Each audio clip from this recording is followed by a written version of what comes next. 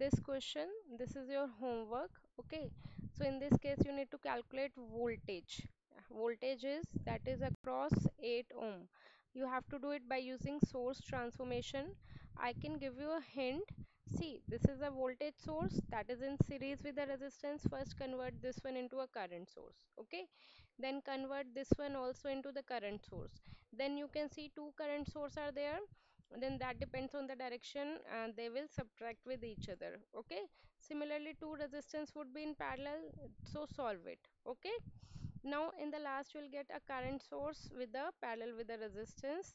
Then you can see this current source and the previous current source you can combine it okay? Then this uh, the resistance you can combine it. In the last like you can't touch the 8 ohm or you can solve it further so on so on okay now in this time they didn't ask you the current but they ask you the voltage right? So you know according to ohm's law v is equal to i multiplied by r. R is 8 ohm voltage that we need to calculate and i is the current across 8 ohm. So current in the 8 ohm you have to do it by using source transformation only. Got it? This is your homework question. If you have any doubt you can ask